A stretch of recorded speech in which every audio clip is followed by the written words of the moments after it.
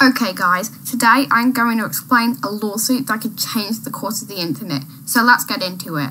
So last year, a family filed a lawsuit against Google because of YouTube's algorithms recommending ISIS training videos, and the ISIS killed one of their family members back in 2015. If you don't know what an algorithm is, an algorithm is what YouTube uses for their recommendation system and what Google uses for Google search, basically that kind of stuff. Google protected itself under Section 230 of the Telecommunications Act, which makes it so someone can only sue the person who posted the bad thing on YouTube. YouTube isn't sued. The US Supreme Court is going to review the section in February when the trial happens.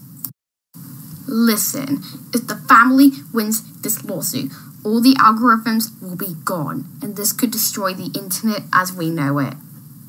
This is the time to panic. Google search will be gone and YouTube would be destroyed.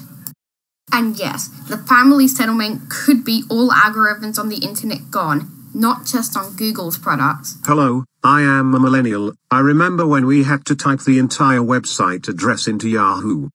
But at the moment, if you type Y, YouTube pops up.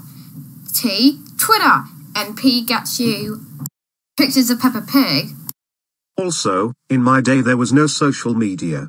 What social media do you have, millennial? Newgrounds.